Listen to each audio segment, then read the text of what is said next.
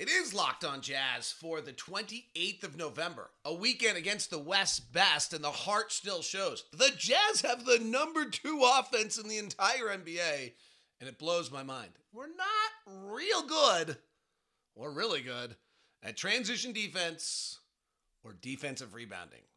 We're talking about all of it, plus late game watches. It's all coming up on today's edition of Locked on Jazz. Bum bum bum bum bum bum bum bum bum bum bum bum bum pow.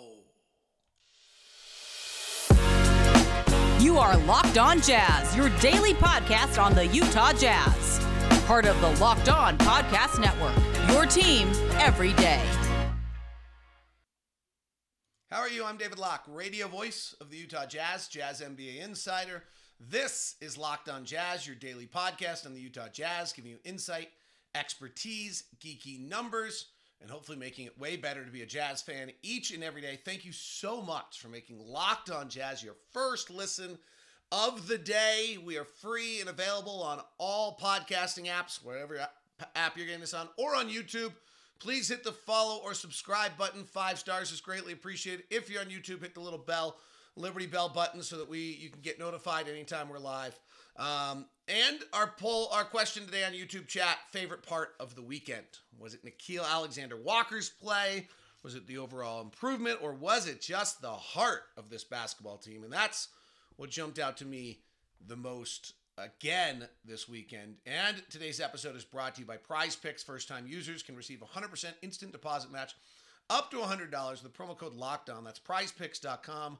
Promo code locked on you know, Will already got asked, and we're and this is becoming somewhat of a regular theme. We we go into these towns, and you know, we're the story of like this surprise team, and what about us? And so Will Hardy gets asked, you know, well, what surprised you? What have you learned about your team? And his answer the other night to Janie McCauley of the uh, AP in the Bay Area was that we have heart, and that really does sum up the first twenty some odd games of the season to me for, about the Utah Jazz. Is this team does it just has heart. Like it plays hard. It gets after it. It battles every night. Right now they've lost four in a row and they've lost seven of nine. But there's a level of of energy and tenacity and effort on a night in and night out basis on what has been a pretty brutal schedule. I know you that always kind of falls on deaf ears, but there like are some just simple facts. Like the Jazz have played 14 road games. I don't think there's anyone else in the NBA that has played 14 road games. Um, Detroit has played 13. The Brooklyn Nets in the East have played 12. Denver has played 13. To their credit, they're 8 and 5 on those games, and probably worth taking note of that they have done that. They've only played six home games, and they've played 13 road games, and they're one game out of first place that's in the West. It's probably worth making sure that you're everyone's aware of that. Um, you know, we've played 22 games. Uh, if you look around, you see that the Spurs have played 21 and the Warriors have played 21 and no one else in the league has played 22. So there are some aspects where there's been a wear down factor where I think there could have been plenty of nights where to not have heart. Like where, you know, you're being taxed and everyone's being pushed and it, it isn't a team with a Joel Embiid or even a Donovan Mitchell or uh, Bradley Beal or a go-to guy that carries the load. It's a collective effort on a nightly basis and – there seems like there was a lot of opportunities for guys to wear down. We just haven't seen that. It's really been pretty awesome. Um, and I think that's that still is kind of the number one telling thing to me that jumps out the most about this team is is exactly that. Like the level of heart that they've played in in every single one of these games to me is pretty awesome. Now over the weekend they lose twice. The Warriors have clicked in. The Warriors' first quarter against us was was pretty vintage Golden State. That was that was pretty awesome. And then they did it for a half last night, uh, or midday yesterday against the Timberwolves. If you got a chance to watch it, I don't suspect you did. You probably had either football World Cup or other things to do. Um, maybe go to church. Uh, they Warriors were great. Uh, so we ran into to a team that I think has clicked in. They're nine and one and now ten and one at home. One of those two, and they were brilliant in that game. Their first quarter the other night, they just ran by us, but with the ball just never stops. It just never stops. They were 16 of 28 in the first. Um, they had 12 assists on their 16 baskets. It was awesome, actually. If I was to introduce the NBA to someone, the first place I would go is have them watch Steph Curry. Like if I if I had somebody who was becoming an NBA fan, didn't know the game, I'd love to just sit down with them and watch the bat, watch Steph Curry play and watch the Warriors move the ball. It's so elegant and gorgeous. And you know, there was a we we we got waxed pretty good. We were down 14 at the end of one and worked our way back. Like I think that's you know, and I thought I, I'm not sure always what I think about this in a lot of circumstances. Um, in the sense of like I think Will said, "Hey, we won three of the four quarters." I'm, you know, okay, I kinda, but on that sense, like I get it. Like I think I understand what he's saying. Like from the second quarter on, it was 95, 92 Jazz. Like that's the, world champs right there, playing at full throttle and playing really, really well, and hitting 16 of 33 from three from the second quarter on. It wasn't like they went cold, and the Jazz still battled. Actually, outscored them by two in that stretch. I thought the Jazz, and without without Mike Conley, and then you know, you go to Phoenix the next night, and I would say, in kind of same theme on this, I thought the Jazz were really, really good. It was another great game. Phoenix is good. They're playing without Cam Johnson and without Chris Paul, and they're still really, really good. Um, our guys, you know, Lauri has had some nights here where fatigue looks like it gets him. That was one of them. And yet then Jordan turns around as 22. Collin has his best game of the year with 20. We play our best game without Mike Conley by a mile. Um, and we look way better than we have in, in any of the other games without Mike Conley. Uh, we defend Devin Booker quite well 27 points, 27 shots. We just don't can't handle a former number one pick in DeAndre Ayton, who's really good. The thing is, like the it's interesting. I did Locked on NBA today with Jackson Gatlin, and you can listen to it, and, and it's like, oh, they started the tank. No, Mike Conley got hurt. Like Mike, we were winning close, close games night in and night out, down to the wire. Mike Conley making incredible plays. as a 35 year old point guard who's in control, organizing, setting things up. We were limiting our mistakes. And now Mike Conley got hurt. And there's just little plays every single night that are the difference between winning and losing. And I'm not uh, like I'm not I don't want to pick on anyone, but I'll just give a few examples. There's a fast break late in the game the other night, and Collin Sexton is bringing the ball is is bringing it up, and Beasley is open across the court in transition for three. And Sexton just holds the ball for three or four steps too many. If he throws the pass to where Beasley is going to be, then Beasley probably catches it in motion. I think this is with it's a if I remember correctly, it's like 113, 110. There 53 seconds left. Payne's missed. We're in transition. Like this is a three to tie. And Sexton brings it up the far side. And Beasley is going to be open. Beasley's got his hands up. If he throws to where Beasley is going to be, you know, throwing to get the receiver open, Beasley catches, has a wide open three and a chance for a tie game. Instead, Collin takes it an extra dribble, takes it in an extra step too far. It's just not a natural point guard. This is not a criticism. This is just how it played out. Beasley actually gets to the three point line, sets his feet, still has his hands in the air. Then the pass is thrown. And by this time, DeAndre Ayton is sprinting down the floor, and Ayton gets a steal with 53.3 seconds left on what could have been a Beasley three to win it, like or to tie it.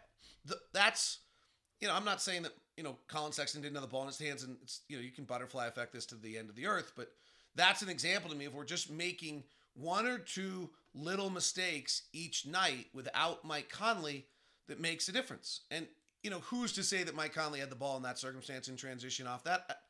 I, I don't know. I, I don't know that I can prove that, but it does feel like that's the way it's been. The same thing I would say on Saturday. There's a play in which um, Jordan Clarkson brings the ball. It's in transition. Clarkson brings it up. Three on two break. Beasley flares to the right wing. He's wide open for three.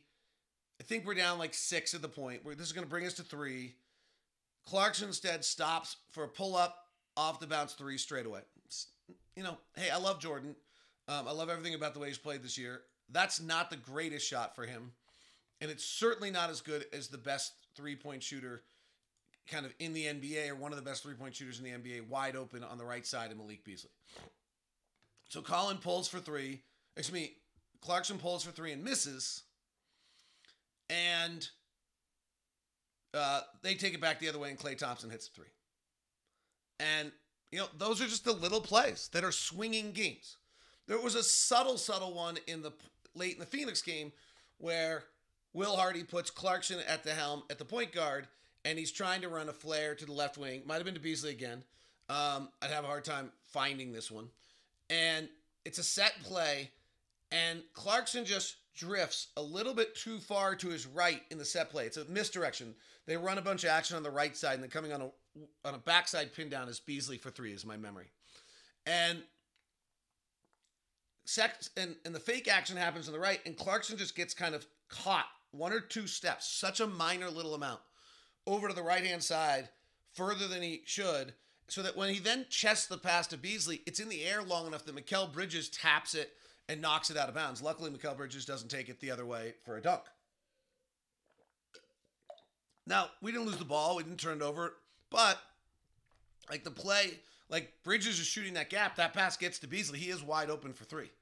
And those are the plays we're just missing right now. We're just and again, I'm not like this is just reality. One, one guy is a veteran point guard, has been in the league for 15 years, one of the better natural point guards, and every other guy we're asking to do this right now has not done it with any regularity. So I think I think there's a you know this is just the reality of like, well, oh my gosh, you've lost four in a row. Yeah, not surprised in any way, shape, or form that this team without Mike Conley, who I've called multiple times the thread that holds the fabric together, is losing games, and it's these little tiny plays in a league where the margins super thin. Our our differentials plus one, you know, plus one or two a night. Like if you don't think Mike Conley gives us a point or two a night with the way he plays, you're crazy.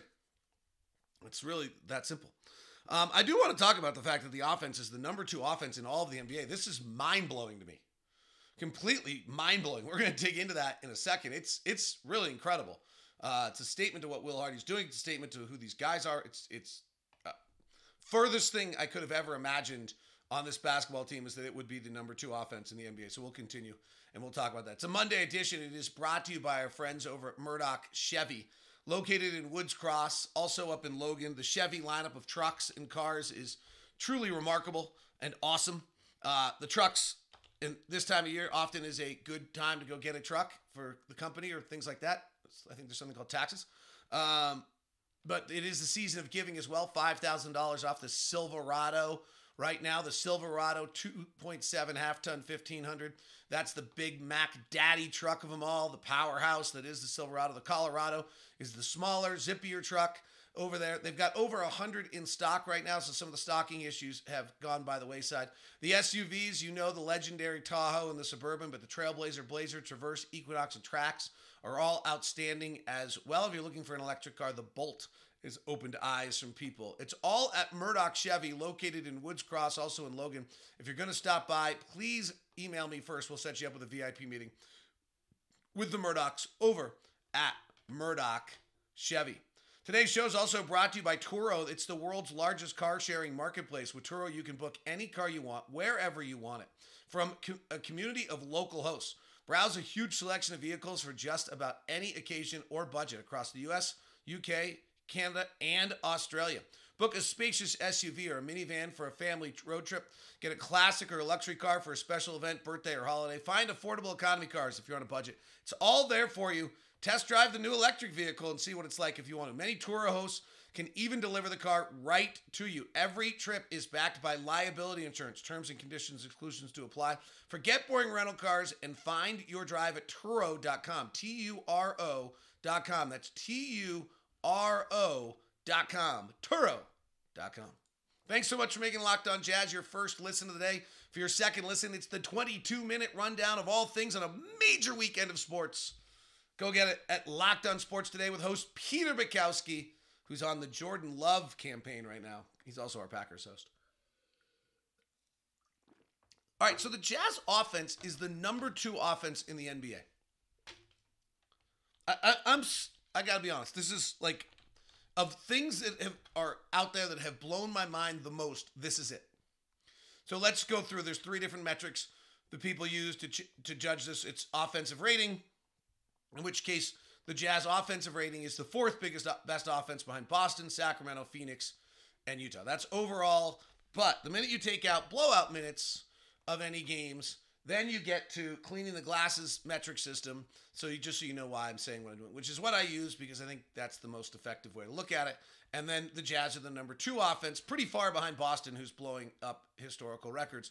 And it's Boston, Utah, Phoenix, and Denver. Sacramento's actually really profited off blowout minutes. They're down to six. And then there's Taylor Snarr's um, site dunks and threes, which is set to evaluate your strength of opponents and things of that nature, which I really like. And you look at that, and that has our offense at second. So the two systems that I actually like the most, cleaning the glass and Taylor Snarr's system, both of which I think, you know, judge correctly for various different reasons. One, based on who you've played, and two, based on um, non blowout minutes. The Jazz are the second best offense in the NBA. This is incredible. So, first question is why? Well, that's that's a great that's a great place to start. So, if we look at the four factors, they're the sixth best shooting team in league, which I just never saw coming. Like, if you kind of go back and look at it, and when I did the um, points gained analysis of the Jazz offense, I had us 13th in the West or 12th in the West. Jordan Clarkson's supposed to be an inefficient player. Talen Horton Tucker's an inefficient player. Nickeil Alexander Walker's a terribly inefficient player.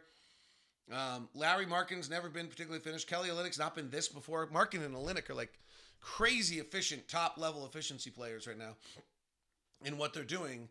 Um, it's it's really like stunning. It's also a tribute to actually, if as we kind of, I think it's actually interesting how fast this kind of went by the wayside. But this idea of whether you know, wondering who Will Hardy is as a head coach really disappeared super quickly into this process, which is great. Um, but it's a tribute to what he's built and and where he what he's done with his offense that he's getting this much out of each of the guys. So we're the sixth best shooting team. We're 23rd in the league in turnovers. We're the fourth best team in the league at offensive rebounding. We're 25th in the league in free throw shooting. So we're getting the fourth in offensive rebounding is vital to our offensive success. It's it's taking us from the sixth best shooting team and propelling us with these extra possessions to the second best overall offensive rating. Um, and so that's that's pretty that's a large part of what's taking place here. Now, the other thing is just guys are having really good years. And that's the other part that I think is kind of crazy is is worth, you know, jumping out at um, and highlighting is some of our guys that are having these these really fabulous years for um, for the Jazz so far. So um, if you look, Lauri Markkanen obviously is the is the highlight of this um, estimated plus minus. He's a plus three point seven. His he's in the ninety fourth percentile offensively right now in the way he's playing. Kelly Olynyk is doing the same thing. Um, you've got Jordan Clarkson who's had this like incredible year where he's chameleoned into doing you know multiple playing in a different way than he's ever played before and is just dramatically more efficient than he was. He's his estimated plus minus using Taylor Snarr's system he's taken him from a 1.2 to a 2.9, so he's doubled his value um, in what he's doing offensively. Right now, his true shooting percentage is from 54 to 56 percent. He's just gotten so he's just so much more efficient. For Markkanen, you've upped his load dramatically, and you've taken his true shooting percentage and his effective field goal percentage, his true shooting percentage from 58 to 64 percent, from the 67th percentile to the 84th percentile. I mean, that is that is a huge jump. This is a tribute to the system and the way they're all playing together. Kelly Olynyk's another one who, you know, has been a little oft injured, but he's his true shooting percentage. True shooting percentage, by the way, is your shooting plus any free throw shooting you're doing, which we're not doing a lot of. So I could talk effective field goal percentage. Kelly Olynyk's having an out of body experience. His effective field goal percentage, which weighs three point shooting, is 65% right now. He's in the 93rd percentile. For the last, his his usual number in his career, he's kind of very consistently been 58%. So he's jumped from 58 to 65. Just remarkable. Jarred Vanderbilt, who has never been a particularly good offensive player or rim finisher, um, particularly, is up just ever so slightly from 59 to 60. So all these guys have just upticked it. Beasley's gone from effective field goal percentage around 55, 53, where he usually is back to his career best 58 that he had in Denver. Um, really just impressive across the board. And when every single player on the team, Collin Sexton's actually right about where he kind of always is. His true shooting percentage and his effective field goal percentage are right where you'd expect to be. And the only guy who's dropped is Mike. for for all the praise we give Mike, he actually hasn't shot it well, but he just has held the team together. But you look at our core guys and everything that they're they're primarily doing, you've got just a bunch of guys that've taken jumps, and then you add some offensive rebounding in there, and it's it. But it's stunning to me. It didn't. This is not something that I ever saw out of this group um, that they would be, you know, able to take this kind of a jump and and make this kind of step. So I think when you see it collectively like this, the takeaway I would have is it's system based, and this is a, a tribute to what Will Hardy's been able to put together, how they've been able to distribute their shots correctly, taking a lot of threes, getting to the rim a decent amount, um, and and playing the game in a manner that is the right, really in a right way to play. Their offensive shot distribution's really good. They they have the sixth best shooting team, as we mentioned. They take the sixth most amount of threes. They take the 16th most amount of rim shots. Um, and then nothing crazy is actually going on anymore. For a while, we were shooting at the rim really well. We're 15th best shooting team at the rim, 10th best three point shooting team. Um, it's, it's it's super impressive. It the margin um, actually is fairly decent. The Jazz, you know, from two to seven is is a pretty decent margin. I think they're going to stay top five for for an extended period of time um, with this. It's some you know heart heart and offense kind of jump out. All right, let's get to the frailties of the weekend.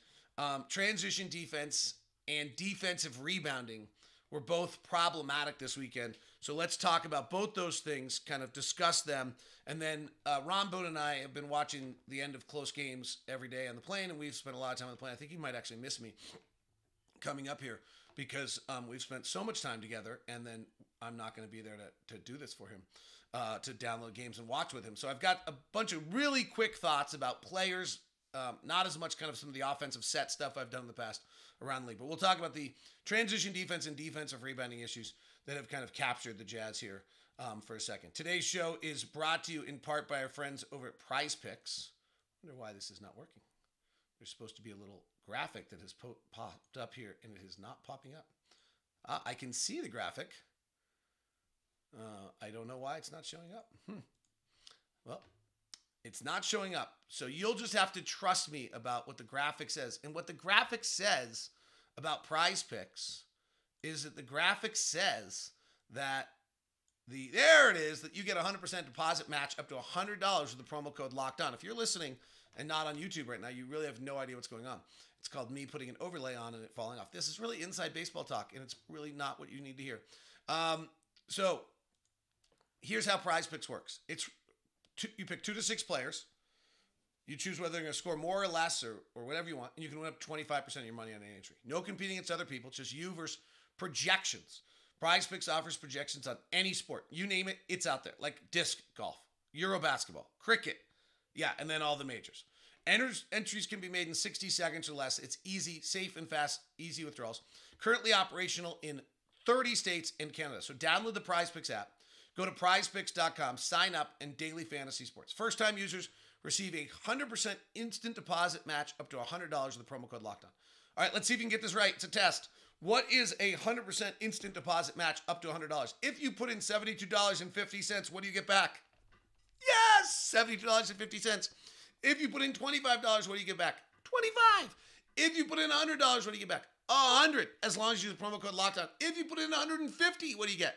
100 because it's up to 100. So don't forget to enter the promo code lockdown to sign up for your instant deposit match up to $100 at prizepicks.com. Go download the app, use the promo code lockdown, and you are all set. All right, the Utah Jazz, two frailties right now that are significant are transition defense and defensive rebounding.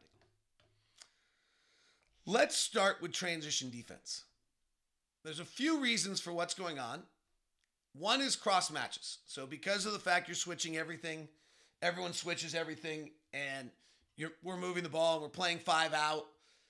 Uh, you're ending up with guys guarding, being guarded by guys they're not supposed to guard, and then when they run back, they're trying to find the guy they guard instead of the the right guy, and they get confused. There's a play in the Phoenix Suns game, a pretty big play late in the fourth quarter, in which they get a fast break layup, and Ron Boone and I ran through it on the plane on the way back like three or four times. It's pretty hard to tell. Like two guys went to the ball.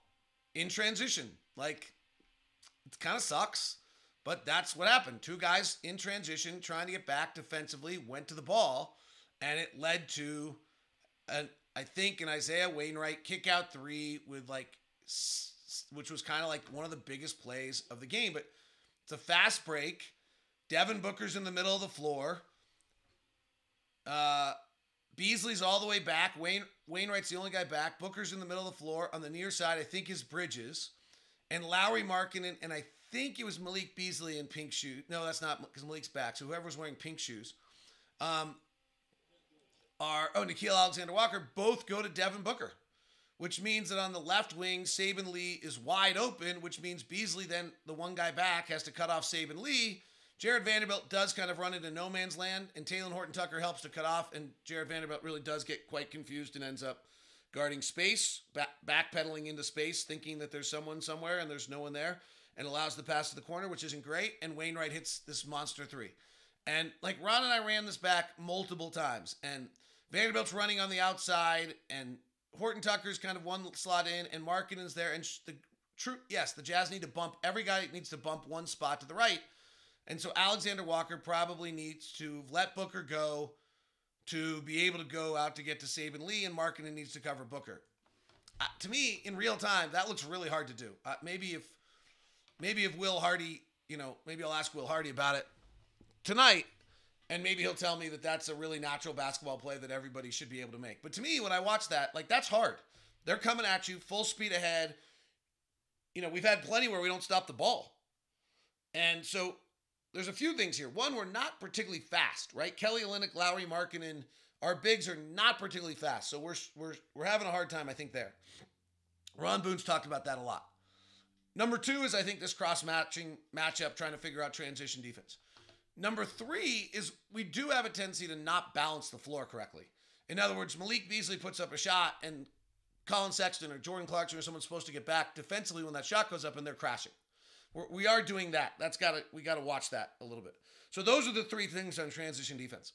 Do I think it, this one's solvable? I think we can get. I think we'll get better at it because I think you've got a lot of teaching and developing going on with the coaching staff. Um, my concern on this really is actually just the amount of transition that other teams are in against us. In other words, they're just kind of have set their mind to it that we're not particularly quick and you can run on us and then that gets them in the mindset but right now we're allowing 23 16.6% of possessions to be in transition um, if you look at it since you know i was looking at it since november 1st um, to try to see whether or not there was some trend and I'll, I'll show you the two trends i tried to pull to see like is our teams running more on us recently. Um, so the number since November 1st is 17.1%, which is the highest of any team in the NBA. We're last in the league at denying transition since November 1st. Uh, so that's not great. So then I went to kind of November 13th and said, okay, in the last two weeks, whether or not there's some level that we've gotten any better at that. And then we, we're back to 26th. Um, and teams are running on Orlando and Philadelphia and the Lakers more than us. So I'm a little concerned that like the word is out to run on the Jazz, and then once the word's out, you actually can't slow it down. The second one is defensive rebounding, and I and, and our defensive rebounding is poor. I think we're 30th in the NBA now. I watched every single one of those off defensive rebounds late in the game against Phoenix. Um, Brooklyn, I guess, is worse than us. We're 29th.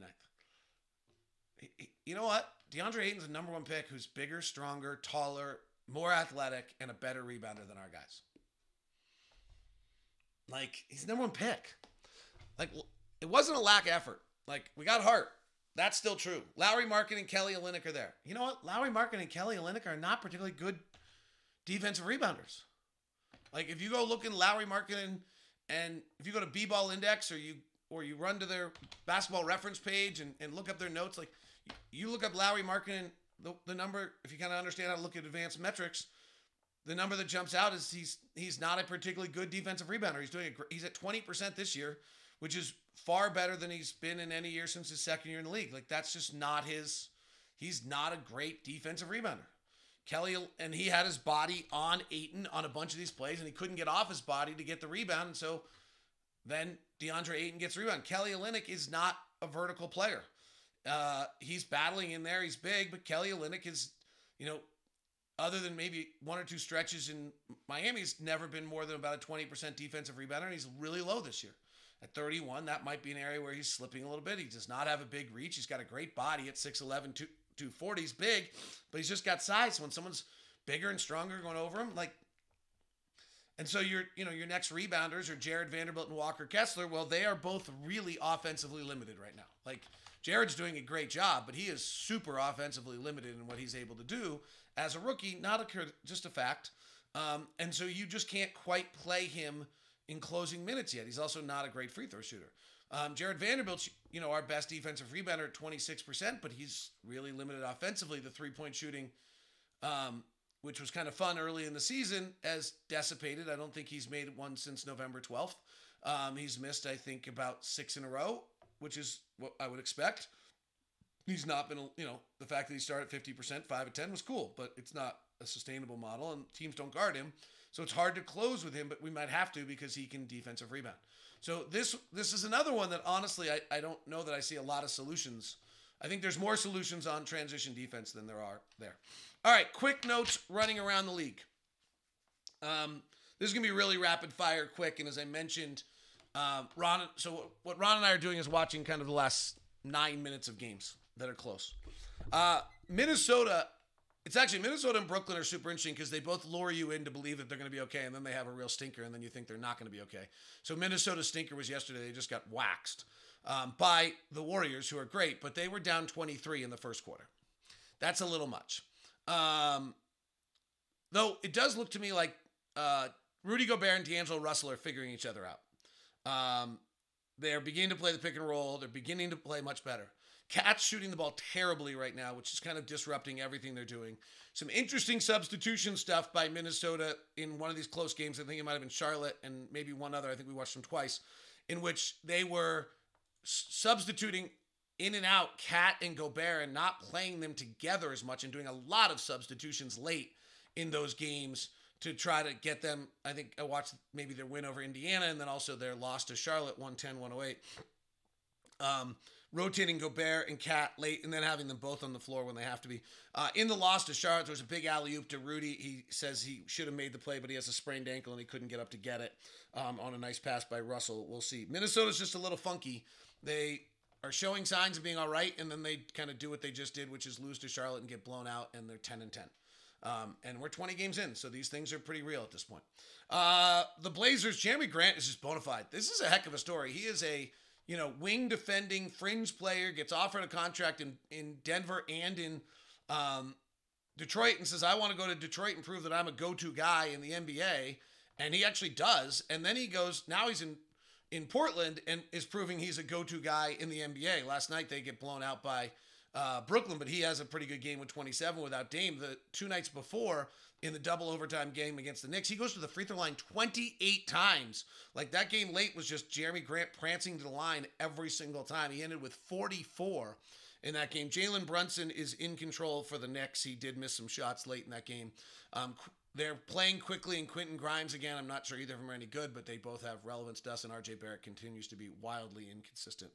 Um, quick note on the Pacers. I've watched them twice recently. Bennedict Mathurin is real. Um, I'm a little confused on Tyrese Haliburton. I am just not as in as the rest of the world on Tyrese Haliburton. I know the other night against Brooklyn he had 21, 16, and 5, 15. His shot just looks funky to me. I don't know. I might be wrong.